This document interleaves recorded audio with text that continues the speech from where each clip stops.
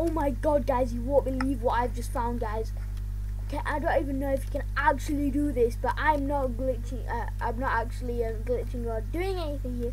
I've just spawned into a world, spawned near a village, and that's what I found in a chest. Obsidian, an iron chest plate, an iron helmet, three diamonds, and an iron pickaxe.